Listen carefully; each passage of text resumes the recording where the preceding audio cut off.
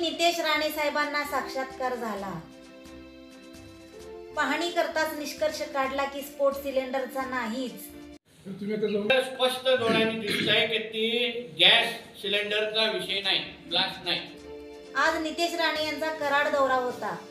त्या दौऱ्यादरम्यान त्यांनी आवर्जून कराडमधील मुजॉर कॉलनी येथे शरीफ मुल्ला यांच्या घरी झालेल्या स्फोटाच्या ठिकाणची पाहणी केली. त्यानंतर शासकीय विश्रामगृह येथे पत्रकार परिषदेमध्ये स्फोटाबाबत ते म्हणाले की पोलीस कोणत्या स्थानिक आमदारांच्या व लोकप्रतिनिधींच्या दबावाखाली काम करतायत? पोलिसांनी हे विसरू नये की आमचे सरकार आहे.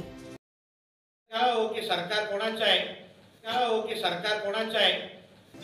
स्फोट प्रकरणी पोलिसांनी प्राथमिक अंदाज गॅस गळतीमुळे झाल्याचे सांगितल्याने कराडच्या जनतेच्या सुरक्षेसाठी कायद्याच्या चौकटीत राहून ऑन ड्युटी चोवीस तास काम करणाऱ्या पोलिसांना एकीकडे ते म्हणतात की तुम्ही कोणाच्या दबावाखाली काम करत असाल तर आम्ही गप्प बसणार नाही. तर दुसरीकडे म्हणतात की सरकार आमचे आहे हे पोलिसांनी विसरू नये.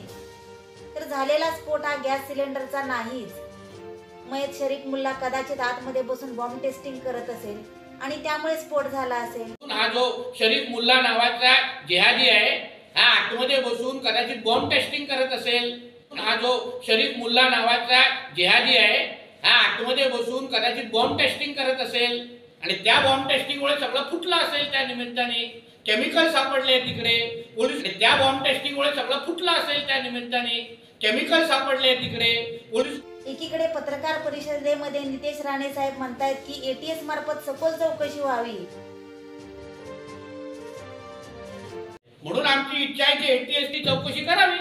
सखोल चौकशी होऊन दे ना मग एटीएस मार्फत सखोल चौकशी होऊन त्याचा अहवाल प्राप्त होण्याआधीच पोटाचा निष्कर्ष बॉम्बस्फोट म्हणून इतक्या जलद गतीने का काढतात? साहेब तुम्ही एखादे वक्तव्य करून जाल हो. पण कराड शहर हे संवेदनशील आहे. तरी देखील अलीकडच्या काळामध्ये कराडकरांना चांगले काय आणि वाईट काय कशावर विश्वास ठेवायचा आणि कशावर नाही हे नक्कीच कळून चुकले. कोणीही कराडमध्ये येऊन काहीही बोलून जावे व ते कराडकरांना खरे वाटावे आणि शांतता भंग व्हावा असे आता कदाचित होणेच नाही. कारण कराडकर जेवढे संवेदनशील आहेत तेवढेच ते प्रेम आपुलकी सलोखा जोपासणारेही आहेत. पाहूयात नितेश राणे साहेबांची पत्रकार परिषद. अगर अगर आपल्या कोणाचं ऐकून काय गोष्टी चुकीचं करत असतील तर त्यांनी पण लक्षात घ्यावं हो की सरकार कोणाचं आहे. कोणाच्या सरकारमध्ये ते एस पी आहेत? आला तो आम्हाला आमच्या देशात हवा आहे.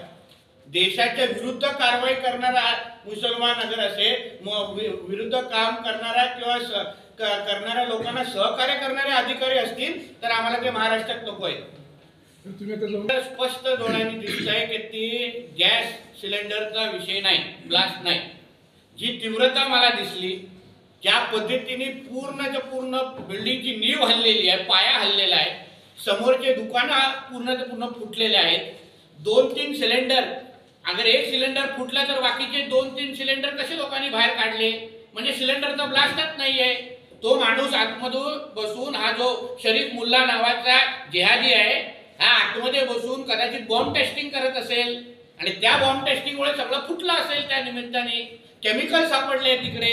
पोलीस कुठल्या तोंडाने निष्कर्ष लावतायत? म्हणून आमची इच्छा आहे की एटीएस ची चौकशी करावी. सखोल चौकशी होऊन दे ना आणि जे जे पोलीस बोलतात त्यांनी मला लिहून द्यावं. विधिमंडळात तर सांगायलाच लागेल मला त्या गोष्टी. मी काय सोडणार नाही. पोलिसांनी तुम्हाला एटीएसकडून काही अधिकारी येऊन गेलेले. आता त्यांनी मला ते लिहून द्यावं कारण का मी पत्र देणार की तुम्ही जे बोललात मला ऑन रेकॉर्ड लेटर द्यावं तुम्ही मला काय प्राथमिक अहवाल एटीएसने दिलेला आहे. जेणेकरून मला पुढे कामाला येईल. त्यांनी मला लिहून द्यावं. चालेल मी बघतो मग काय करायचं ते. सर पुसे